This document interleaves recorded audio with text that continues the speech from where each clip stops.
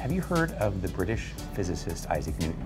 Um, yeah, he wrote the laws of motion, right? Exactly.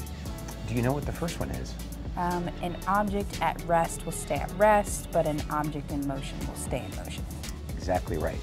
Now, this marble is currently at rest, but if I drop it from a height, its only resistance is really the air, so it's going to land in a certain amount of time, and you're going to time it. Ready?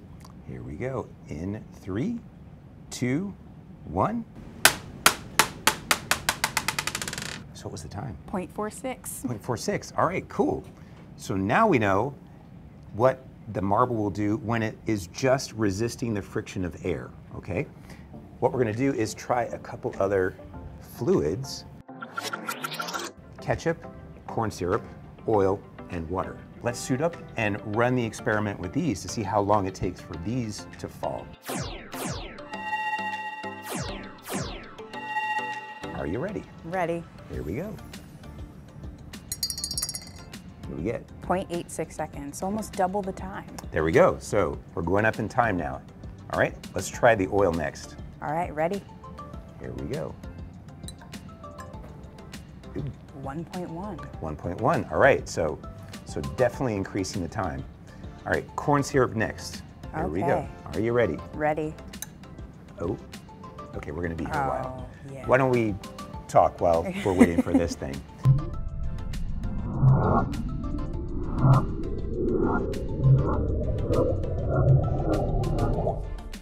Touchdown. 49.9. Ooh, okay, that took a lot longer. Now let's do the ketchup. All right, ready. Here we go.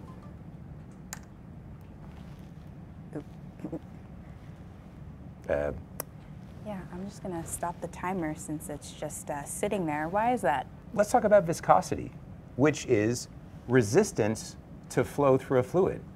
So we saw greater and greater resistance, and then this one just stopped.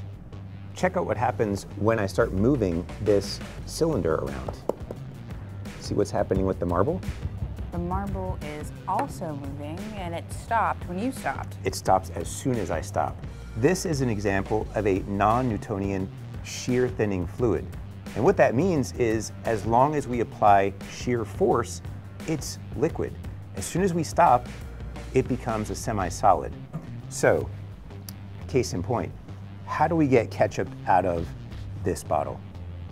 Are you applying shear force when you squeeze the bottle? Absolutely. So that little opening is designed to allow us to apply great force in a small in a small place, and that applies shear force, and this liquefies the ketchup. So when it comes out onto French fries and, in my case, scrambled eggs, then it's liquid, and all of a sudden it just stops. And that's exactly what we want. And of course, there are lots of other shear thinning fluids. So mustard. Nobody wants mustard sliding off a hot dog and salad dressing. Nobody wants salad dressing sliding off their lettuce, right? So all these shear thinning fluids are used all the time in the food industry.